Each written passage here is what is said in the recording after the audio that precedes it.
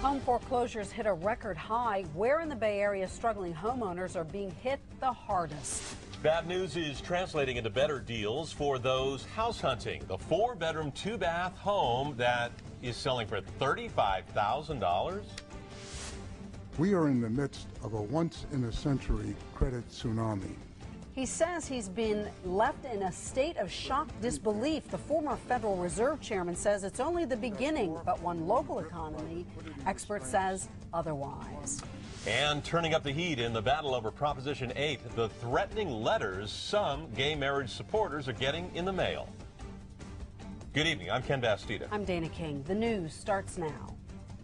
This is CBS 5 Eyewitness News on the CW. Well, a new record tonight shows us just how far the California housing market has fallen. Foreclosures have hit an all-time high in the state.